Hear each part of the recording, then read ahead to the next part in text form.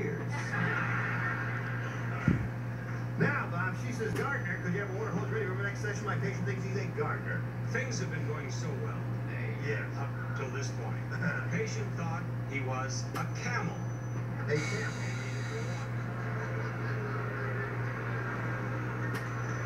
You are fair weather friends. okay, Brett. I do not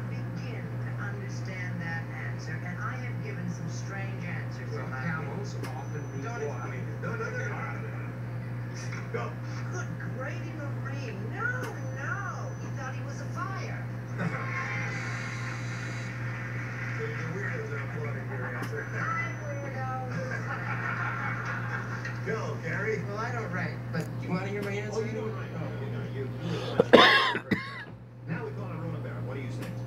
Well, only a person who would have a lot of problems would go to a psychiatrist and therefore he'd have to think he was a fire hydrant. A fire. You like that I'm answer? not. Psychiatrist said there's video.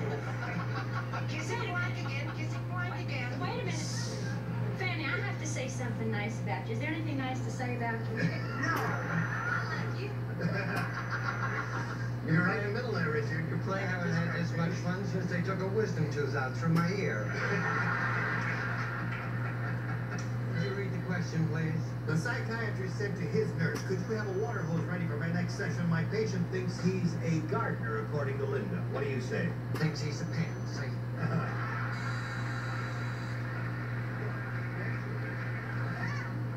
I... Before I answer, I have an announcement to make. What is your Brett Silver's wig is a Pekingese that once belonged to Ilona Massey, and I think it looks swell.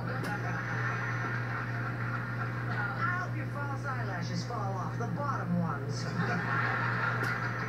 Oh, it's fun games This time. fire. Fire. No gardeners, Linda. Okay, so now we go to you, Shirley, and you're in a good spot here because all you need is one to win another game. Everyone except Brooke will play. Lois Lane said, now that Superman is old, he's retired from crime fighting. All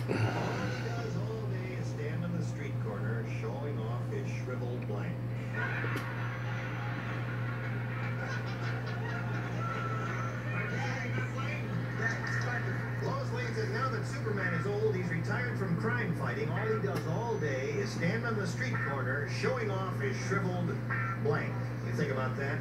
Listen, I gotta tell you something. My mother, the sweet dear old lady that she is, is a little bit of a Mrs. Malaprop things. I went over there one day, and she says, "Do you know what I heard on the television today?" She, I said, "From whom?" She says, "From uh, uh, Ron O'Barry."